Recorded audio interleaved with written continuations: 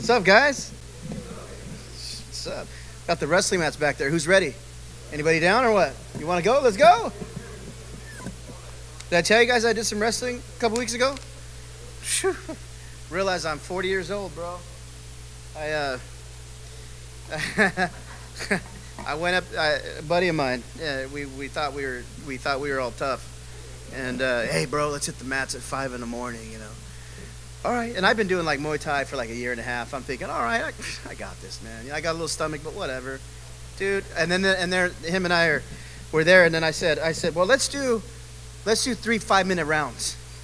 He's all, what? I go, all right. He goes, let's do three two minute rounds. I'm all okay, two minute, dude. First one minute, I'm almost throwing up.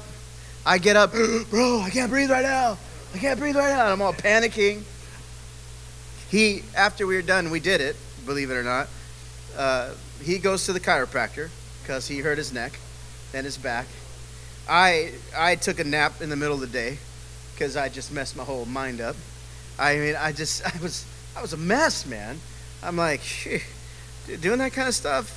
I remember when it, you know, you see, you know, when you're younger, you do that stuff and you just don't think that it was that hard back then. But now, my gosh, man. I don't know what's going on, man. The end of days for me. you know what I mean? But I love eating, bro. I'll tell you that right now. I, I copied this one post on Facebook. It said, I wish everything was as easy as getting fat. Amen to that, bro. Real easy to do that. Simple. Love it. So, man, here we are. Man, we're still going. And uh, I intend on, by the end of the year, we're going to finish the book of Genesis, brothers. We are.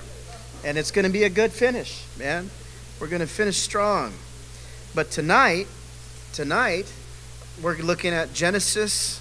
Do you guys even remember where we left off? Chapter 47. Anybody remember the verse?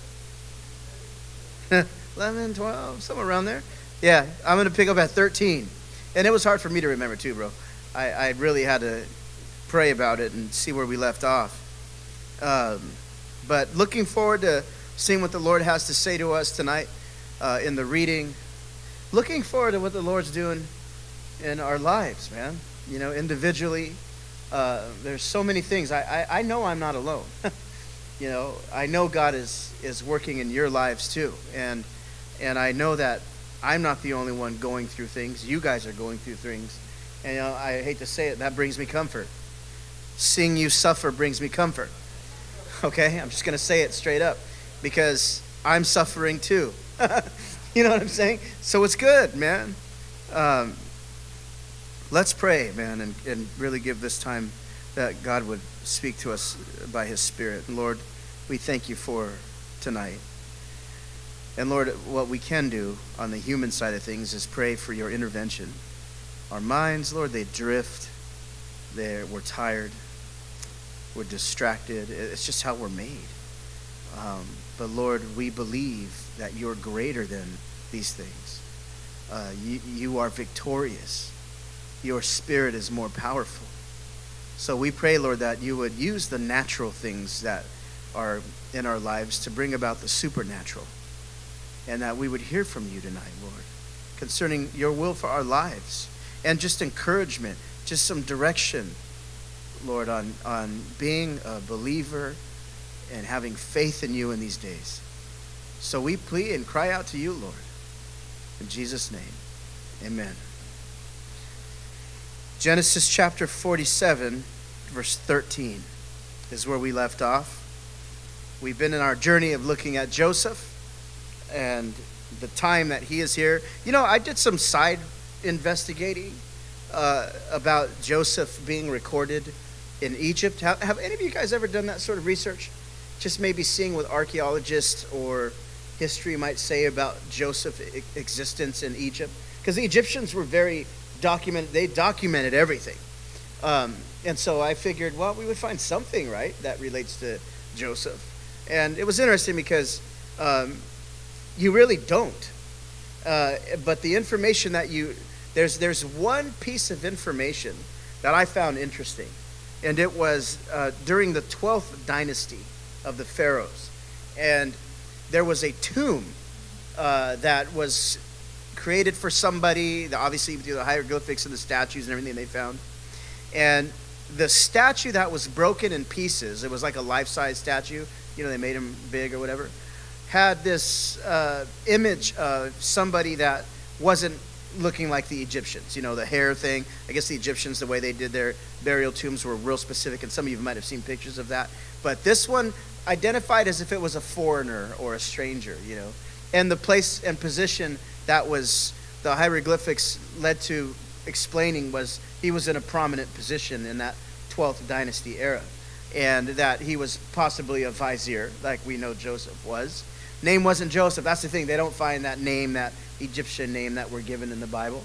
But I thought it was interesting that there's just one little piece of evidence that explains that during this time, this setting, historically, there is there was artifacts that point to someone that had a position of power that was not of an Egyptian descendant, but yet that, that existed. And that was during a very productive time of the Pharaoh. Because that's what we're going to see tonight. We're going to see, because when you read about what we see Joseph doing, man, he did some big things now. Like that would have to go, that, that could not, I'm sorry, go unnoticed. The things that he did, especially with the people like the Egyptians who recorded everything they did. And so, kind of interesting that if you look far enough into the history, there's some evidence that points towards an existence of somebody like Joseph. But again, you know, you don't have the names and you don't have all those things that match up. But, you know, this is a long time ago what we're talking about here. And of course, uh, there's the other side to it that the enemy is going to do everything he possibly can to cover up things like this from ever coming to, you know, as proof or evidence that there's biblical um, coexistence with archaeology today. So let's start at verse 13. I just want to kind of share that. And it says now in verse 13 that there was no bread in all the land, for the famine was very sore, so that the land of Egypt and all the land of Canaan fainted by reason of the famine. This is our intro to our reading tonight. I want to highlight this verse for a moment. This explains what the famine has caused. It explains sort of the, the overall fruit of what's taking place. The famine, in other words, drained everything here. That's what a famine does. A famine is sent, and its purpose is to eliminate something, exhaust of all resources. And here the famine has finally reached a point where all the land of Egypt and all the land of Canaan is fainting because of this famine. Now, I've mentioned this before because you have to go there when you start talking about this famine, especially particularly this one and how we're going to read this story tonight. We know that God is the one who allows for famines to happen. We know that. We believe that. And we also then have to believe that God is the one who allows famines to happen in each and every one of our lives too.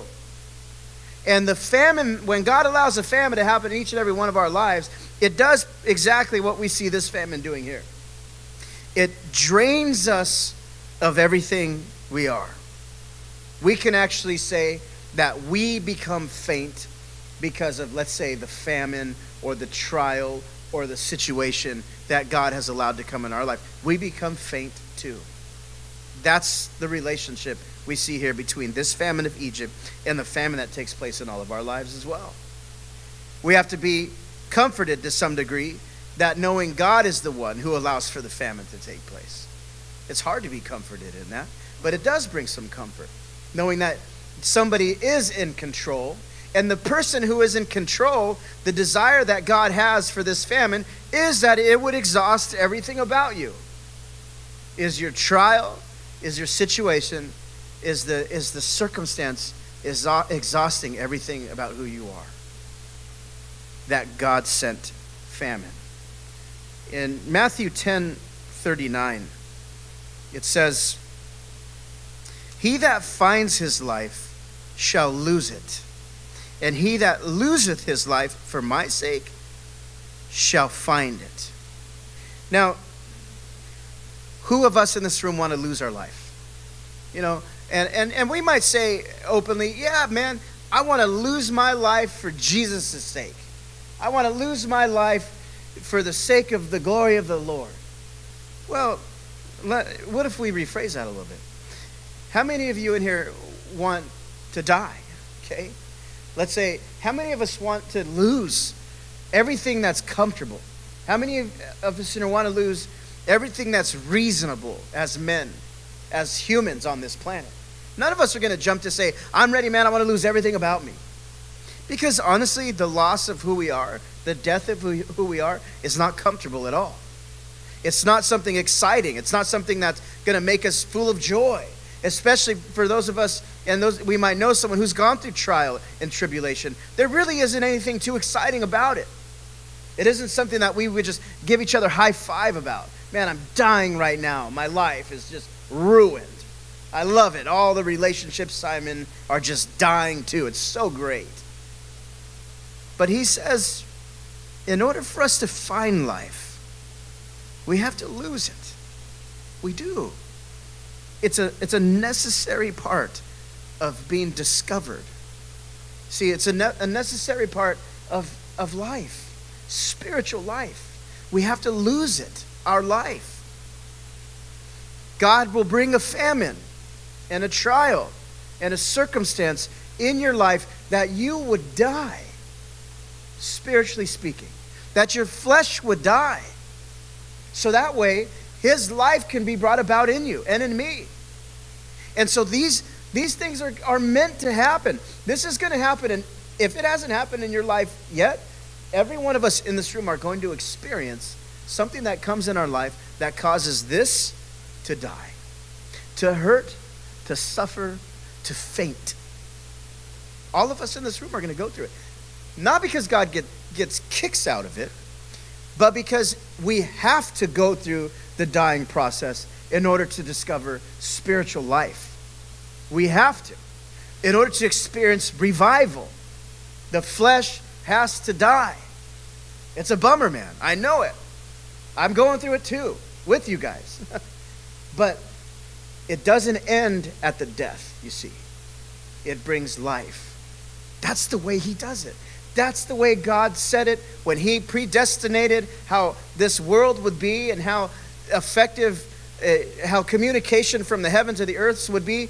He said, suffering and hurt is going to be my effective tool on, those, on that flesh of theirs. I'm sorry.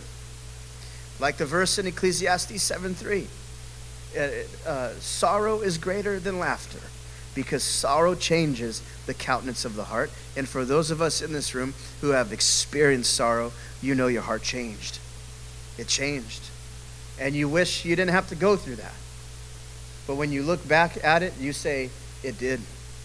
I will never look at this uh, in uh, the same way. I will never look at that the same way again. I will, and, and you change because it, it the grief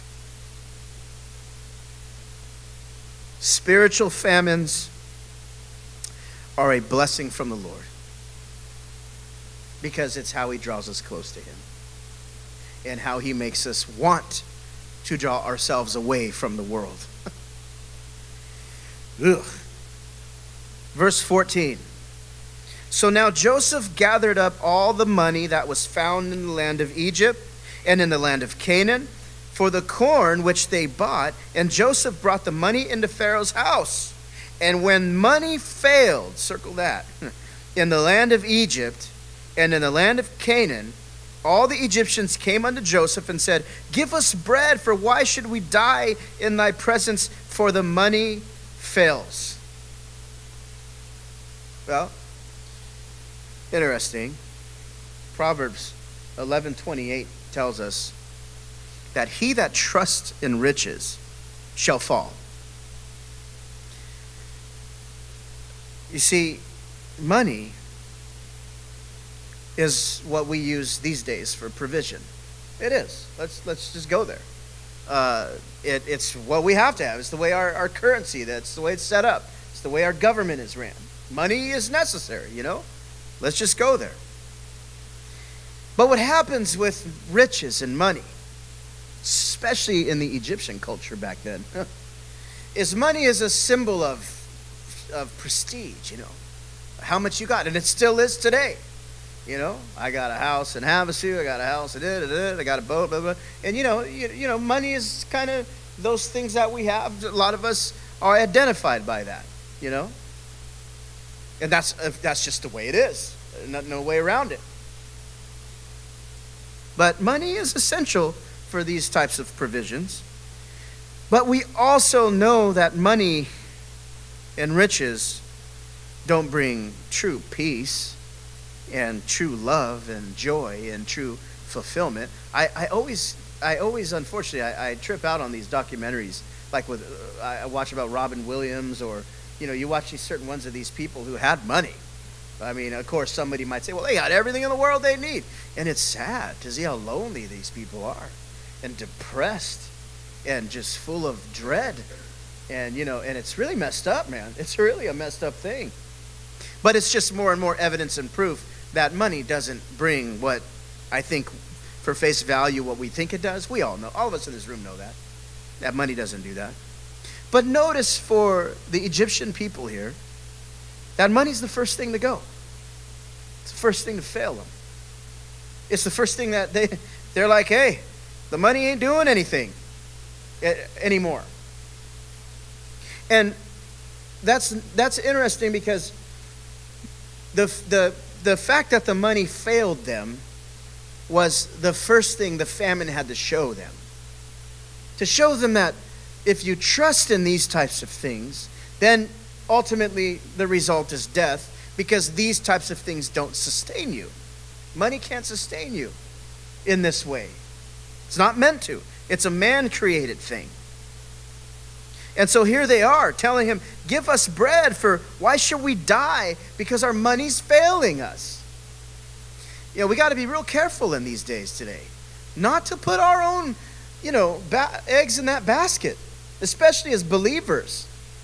The world does it all the time. And when I say the world, you know, there's that's the sometimes the the drive behind some people's agenda in their day is money, man. That's it. I'm out to make money blah, blah, blah, blah, blah, end of story. That's my deal.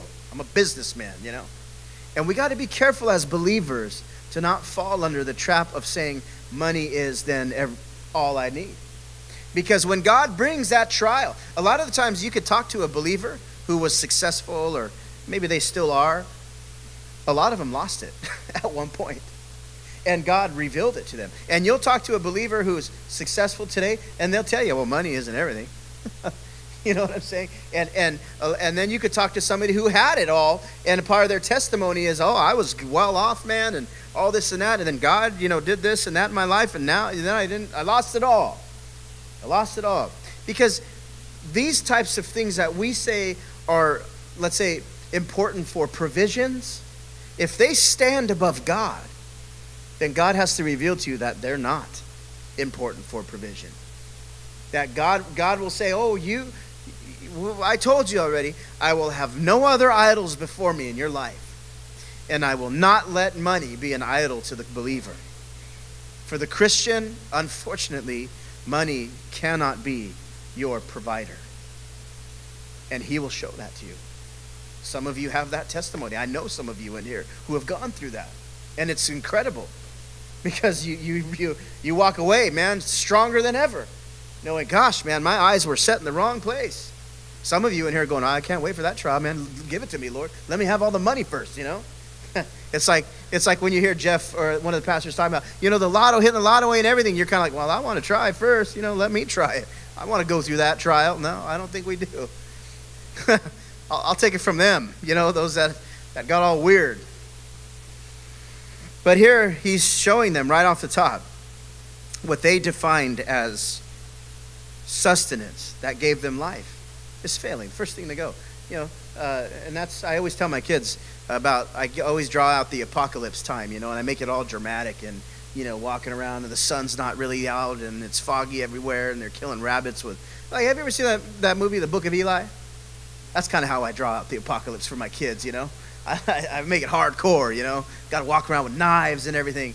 And you know, but what's most important isn't money anymore. It's you know, I'll trade you that. You know that lighter, you know, that's worth everything, you know. That's kind of, and that's kind of what we're going to see happen. As money will always fail, because ultimately, guys, it's only paper. Right now, it's a little more paper, but one day, it'll only be used to fuel some fire, you know. Joseph said, Okay, you're out of money. Got it. Give me your cattle, and I will give you for your cattle. If money fails, I'll, I'll give it to you for your cattle. And they brought their cattle unto Joseph, and Joseph gave them bread in exchange for horses, and for the flocks, and for the cattle of the herds, and for their donkeys. And he fed them with bread for their cattle for that year. Now, this is getting real interesting here.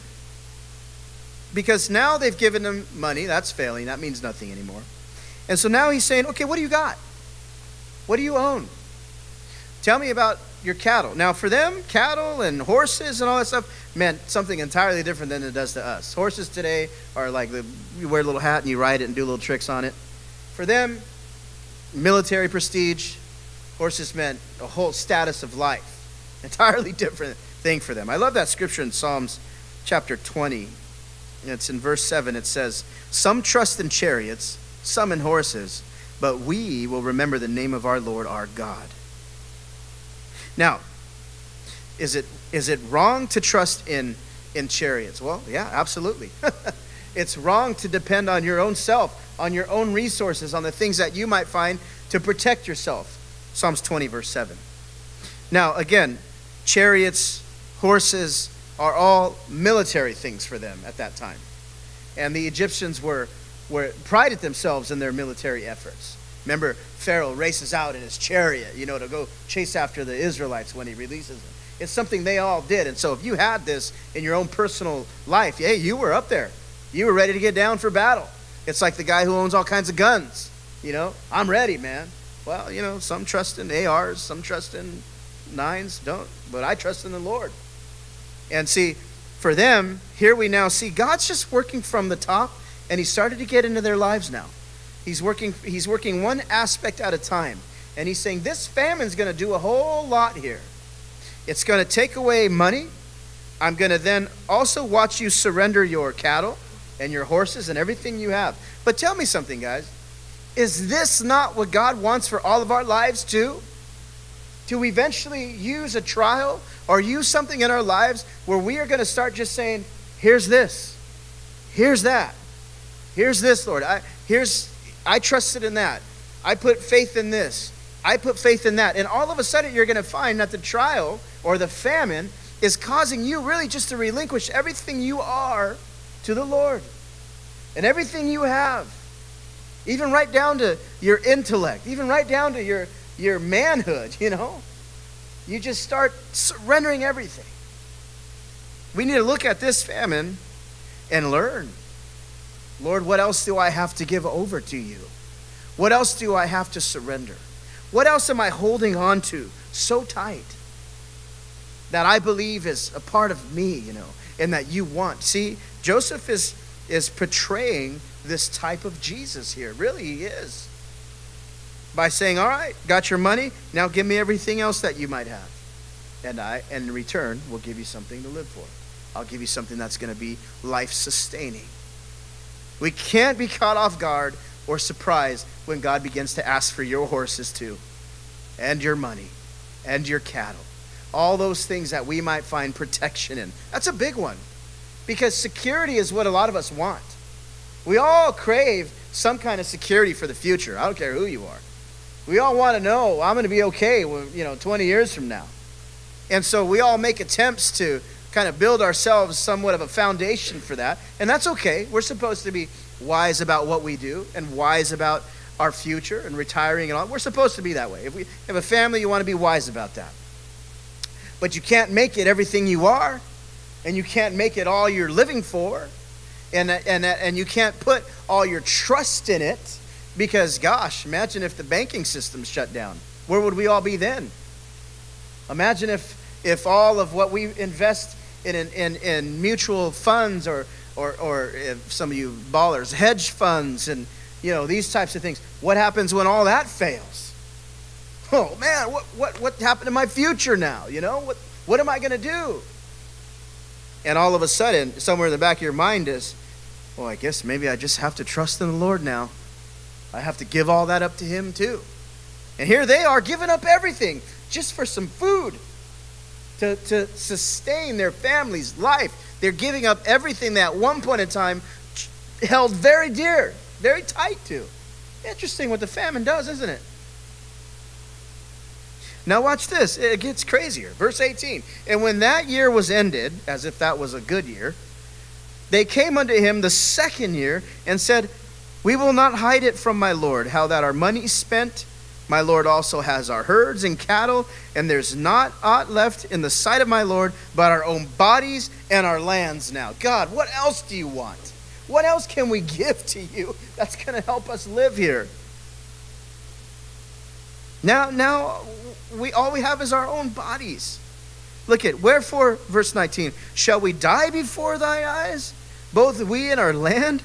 Buy us and our land for bread, and we and our land will be servants unto Pharaoh. Give us seed that we may live and not die, that the land be not desolate. Verse 20. And Joseph, look at, okay, he bought all the land of the Egypt for Pharaoh, for the Egyptians sowed every man his field, because the famine prevailed over them. God allowed this to continue to go on until there was more nothing else to give.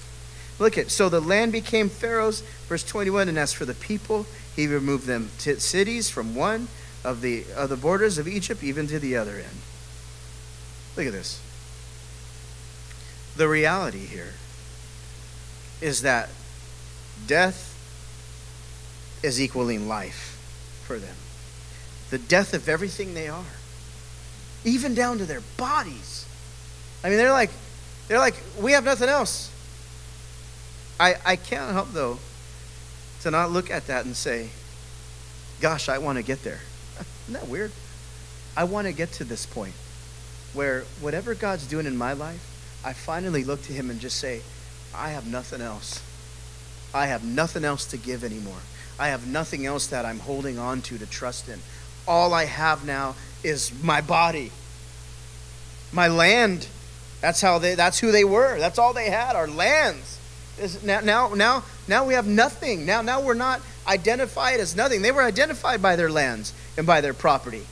That's how the, Egyptians identified them. Actually, a lot of ancient culture were identified by their. their remember Abraham and, and, and Lot? Of you go that way, you go that way, you take that. The land was a big deal It was who they are. It was how they sustain their families. And then, you know, these people back then had all their families living on the land. But now they're giving up everything. It meant to give up even their security of their family and the future of their family. They're not even concerned at this point about preserving the future within their own strength. They're like, give it to Pharaoh then. I don't care. Take it all. But isn't that what the Lord wants from every one of us? Isn't he saying that now? I want everything from you. Yes, everything you, you might find that's, that's in your hands to provide. And you're the guy, I know you're the provider, and I know it's important for you to have a, a job or have a, have a plan and all these things. I know that, but listen, I want you to give it all to me. And, and if you are in a place right now where the circumstance and the trial is, is draining you and you're feeling very over the weight of it, well, then guess what? You're in a good place. I hate to tell you that. Because what's happening then is you're finally just going, I can't, I can't, I can't do this anymore. And then you end up finding out, man, that it was never meant for you to do anyway. You, you, you finally find out that, what have I been doing this whole time? how, how how have I been thinking that it's been my responsibility to live out this Christian life? How, what made me start thinking that it was in my control to have victory? See, the victory comes from Christ, not from us. The, the, the peace of mind, the life, doesn't come from us. It comes from Jesus. It comes from God the Father. It comes from the Holy Spirit It doesn't come from us. And so here we are living our lives thinking we have some peace in this, and the Lord's all the while saying, Nope, nope, nope, nope, nope. You don't. I, I remember a long time, I shared a long time ago, uh, the Lord doesn't want your fingerprints on the work that He's doing in your life. Uh, they're dirty. He's got to clean it up.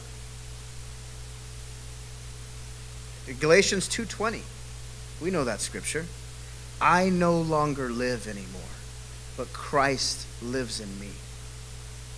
I was crucified with Christ Jesus. I no longer live anymore, but he lives in me now. How many of us can say that today? I don't live anymore. I, I've given it all up. And yeah, it's, uh, it's still a battle. It's, it's like a habit. It takes a while, you know, to finally just go away, man. It takes a while. The urges are still there. The, the desire to control is still there. The need to feel like we got to do, because that's how we're wired as men, that's still there.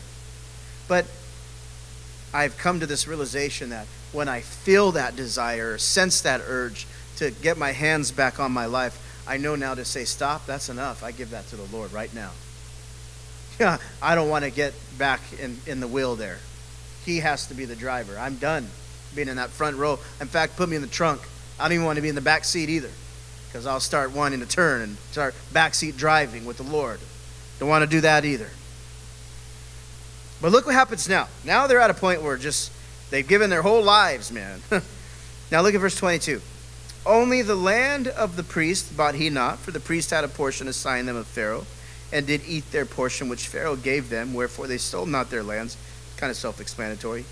The, then Joseph said unto the people, Behold, I have bought you this day, and your land for Pharaoh. Lo, here is seed for you, and you shall sow the land. And it shall come to pass in the increase, you know, whatever comes from the seed, that ye shall give the fifth part unto Pharaoh. Look how smart he was, huh? There, here comes taxes. And, and four parts shall be your own for seed of the field, and for your food, and for them of your household, and for food for your little ones. So you'll get to take care of all your family. And then they said, Thou hast saved our lives. How many of you guys, when you're filing your taxes, send a letter to the IRS and you've saved my life? the IRS, you have saved our lives. so they're telling him, You have saved our lives, you know. And let us find grace in the sight of my Lord, and we will be Pharaoh's servants. And Joseph made it a law over the land of Egypt unto this day that Pharaoh should have a fifth part, except the land of the priest, only which became not Pharaoh's. Now, this is interesting. I know we, we see the, the economical thing happening here, right? It's pretty obvious. But look past that for a moment with me. Second Corinthians 4.12 says, oh, I didn't highlight that one. Second Corinthians 4.12 says, So then death worketh in us, but life in you. What is that saying? See, the death that's happening here in their lives, the death that's happening in our lives is for a reason. Okay? It's for a purpose. It doesn't just stop there. It doesn't just stop at the story here of them giving taxes, you know. The, this is a picture to me of after all of this stuff is exhausted in our lives. To me, this is a picture now of us saying, and of God saying, really, now a portion of your life I want you to use for my glory. I want you to give it back. The death of our lives is for us, but life, as the scripture said, for them. Paul understood that. Paul figured it out.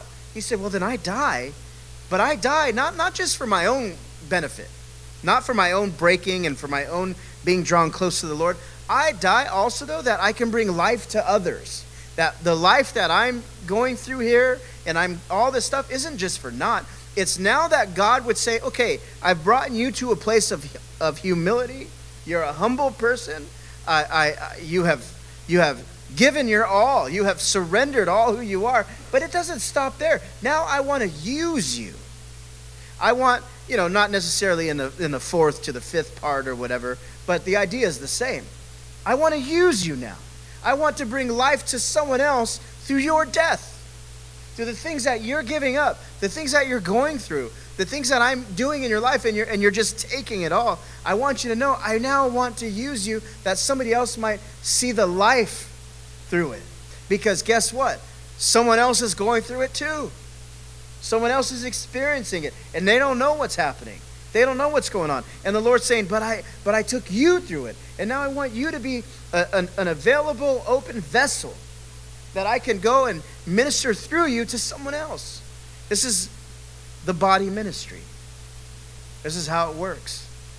Because, guys, the, the body of Christ is so overwhelmingly intricate. There's people getting saved today. There's somebody at their 20 year mark. There's someone at their five year mark. There's so, you know, and, and everything is different in the body.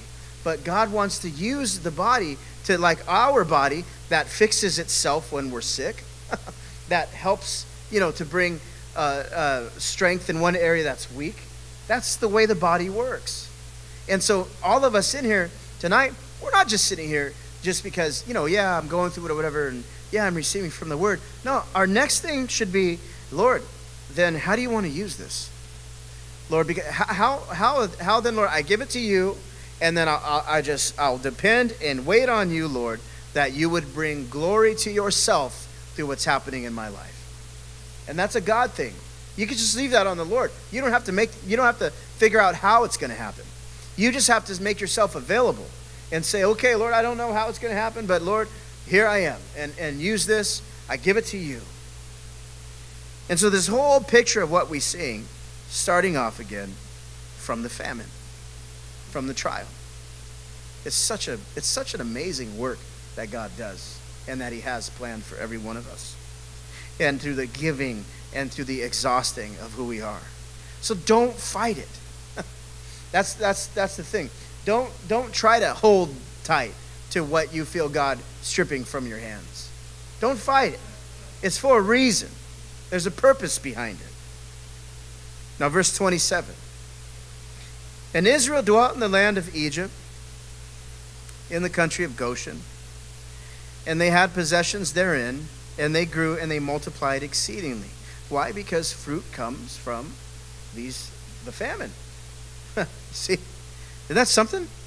They're, they multiplied exceedingly. I'm, I'm always having to remind myself of the goodness of the Lord, not just the, the harshness of the Lord. I, I love reading and studying the Old Testament, so obviously I'm always envisioning the gloom and doom God, right? But I got to get myself out of that at times and read the New Testament and realize that He's a loving God and a friend to the believer. That's what He said. I no longer call you servant, but I call you friends. So God loves us. And so, so the hurt and the pain and the trial and the, and the difficulties, that what's produced from that is joy, but a, a truthful joy for those, as the scripture says, who are exercised thereby. It produces a peaceable fruit of righteousness because he loves us. And look at he he multiplied them exceedingly.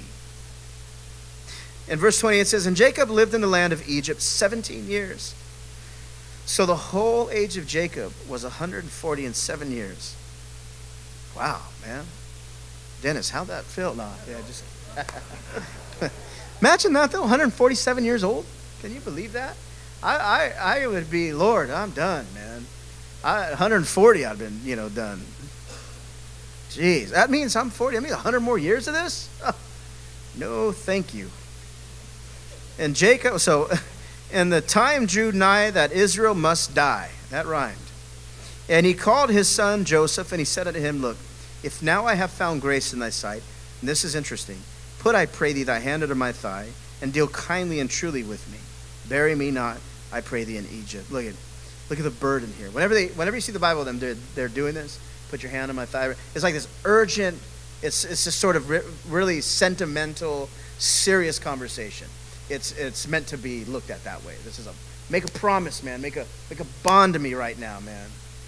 That you're not going to leave me here in Egypt. That that my life doesn't end here. You know, well, let me read it. Verse 30. But I will lie with my fathers, and thou shalt carry me out of Egypt, bury me in the burying place. And he said, I will do as thou hast said. And he said, Swear unto me. And he sware unto him. And Israel bowed himself upon the bed's head. He died. He's gone.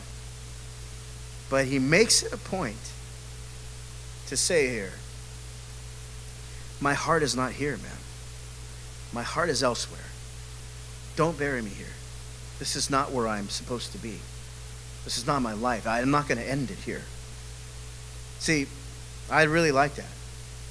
Because at the end of the day, guys, after everything God has done in our lives, after everything He did in, in Jacob's life, from all the different, the, the whole, the whole slew of scenarios that we've read in his life. He landed him here in Egypt. God did a tremendous work in his life. Revolution, his revolutionized his whole. Can you imagine it? You know, when he saw his son alive. But at the end of the day, there's this realization behind the work that God does in our life, in our lives, that says, My heart is not here. So, yes, God is working. Yes, the famine transforms. Yes, I surrender my life. Yes, my life for Christ, and Christ lives in me. Yes, I want God to use me for others. But at the end of the day, you know what? Our heart is not here. This is not where it ends.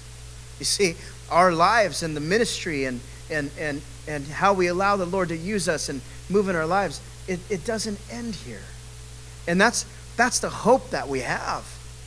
That, you know, after it's all said and done, as much as the, the burden of, of sometimes the moving hand of God in our lives can feel like, because it sometimes can feel burdensome, our heart's not here. See, that's why, that's why we're able to be used this way. Because we become ex, is what's the word? Expendable? Is that what i'm trying to say? We we become you know no it's it's not about me. It's not about this life even my heart's not here my uh, when this is all said and done and it's all over i'm going to be spending eternity with the lord and my loved ones who have gone before me that's what this life that's that's the end game the end result is to spend eternity with the lord and in his presence forever. And so, all of what we see happening here, I like how Jacob's like, Look, man, promise me this. Don't leave me here. Not in Egypt. This is not where it ends. doesn't end here. And, and I, and I want to I wanna take that as, a, as an encouragement. Because, guys, this life is going to be full of this trial. Because our, our, our flesh is so living and and that's a bummer. And some of us, our flesh is more living than others, you know, and it's going to take a lifetime to continue to get us to surrender everything of who we are, that God can use us. But be encouraged. It doesn't end here. We don't reach this ultimate state of, I did it finally. I'm there. I'm at the ultimate state of humility now. There's no more trial that can take any more of me. I've exhausted all of my flesh to God. That's not going to happen. I'm sorry. If you think that's you right now, then trial awaits you tomorrow. Because you're going to see again, there's something else in you. This flesh cannot be perfected here on earth. It can't until it's over and we're in the presence of the Lord.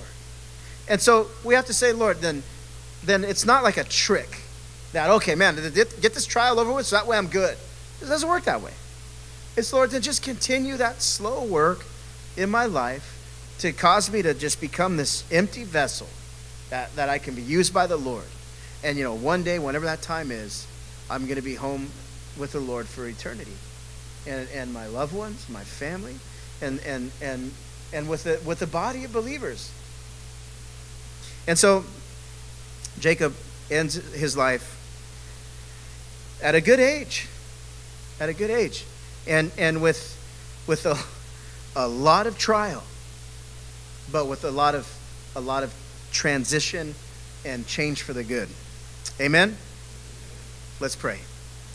So, Father, we thank you, Lord, for this word tonight, and Lord, for the reality of, of seeing uh, how you move in our lives, how you how you do desire for us to surrender everything, and and it and it's thank you for the, the word that tells us it's not, it's, we're not going to reach perfection here and a place of you know ultimate spirituality um, because it's an ongoing work and as much lord as the work uh, can hurt us and as much as it becomes sometimes painful and confusing sometimes uh, lord show your goodness because you love us show your goodness to us lord uh, through the strength you might give us, Lord, to get through it.